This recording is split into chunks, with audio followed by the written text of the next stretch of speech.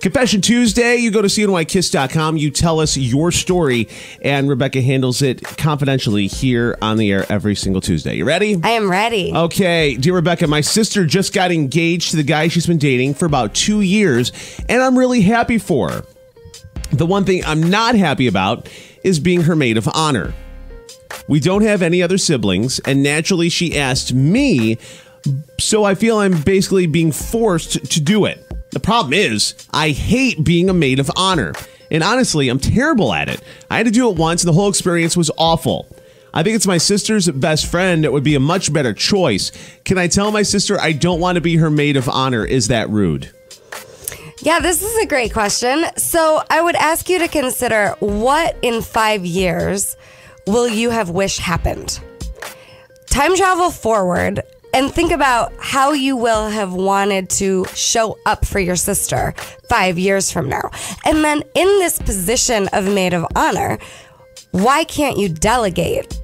What if it doesn't mean that you have to take on all of the major roles like the bridal shower, the bachelorette party, all of these things? What if you can work with her best friend or maybe co chair some of these events? You know, you're the maid of honor, and that gives you an opportunity to use the rest of the bridesmaids to support you in your role. So, what if you don't have to do it all by yourself? And then maybe that's not really the issue. Maybe there's something deeper to look at. Like, what's really your fear or your resistance to being the maid of honor? There might be more here. Yeah, there's, I mean, there's got to be something, like something major must have happened. But I really like the, um, you know, if you're not comfortable about having it be all you and you'd rather have the best friend, why not? Have two maids of honor. That's that's not Right. that's not outside of the realm at all. Or No. ask the best friend to just be your right hand person. Ask the best friend to really, really help you. And then, of course, I would encourage you to be honest with your sister. But you can do it in a way where you're not all or nothing. Like, I'm either the maid of honor or I'm not. What if you found out exactly what will work for you in this scenario? In in all relationships in all relationships this is really important. Come to the table and you can say like this is what i'm comfortable with and this is not what i'm comfortable with.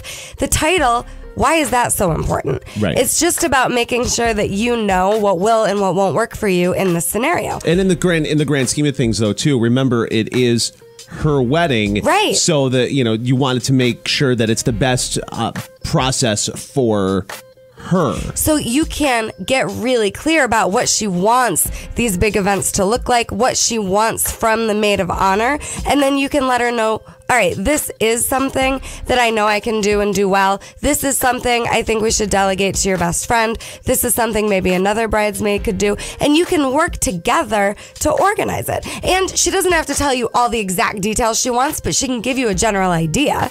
You know, some people want a huge bachelorette party. Some people don't. Some people want Jack and Jill's, like Joe and Monica.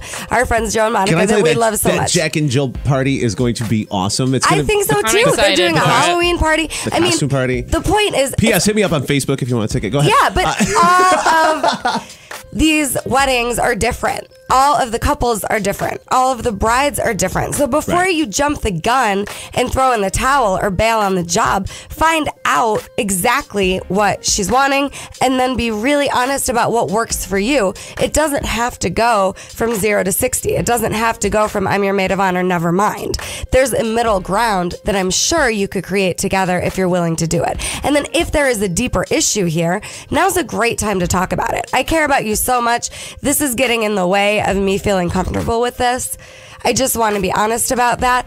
Let her know. and be honest about what happened. Be honest about what happened. Uh, you know, you what what made the last experience so terrible, and why you have the reservations. Because it's Yeah. not because whatever happened is what's causing the reservations now. Have that conversation, and if you can have that conversation, communicate. You know, you guys can you know figure it out. Right, but what's important when you have that conversation is that you know what you need different next time.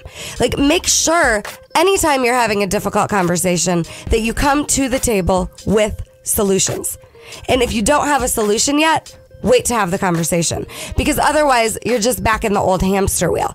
But think about what could have been better, what you need now moving forward, and make sure you communicate that. When people come to the table with, here's the problem, here's the problem, and they don't have solutions, in my experience, they're looking for the other one to make it better, and that doesn't usually work out. Right. So have a solution in place if you're going to have that conversation. Uh, she's kind of good. This, Yeah. this Rebeccah Sounds girl. I know. Yeah, she's Thank she- you. she's she's yeah, you're awesome. Thank Yeah. you. Absolutely Yeah. awesome. I wish you Yeah. all the best. Your sister deserves a great wedding, and you deserve to have a great experience also.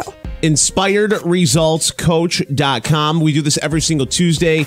Confession Tuesday. If you would like your situation handled here on the air confidentially, go to cnykiss.com. Have a great weekend. We'll see you Thanks, next week. All right? everybody. We're Thank going to break, come back. Kathleen Madigan uh, will be on the show coming up in just a bit here on Kiss FM.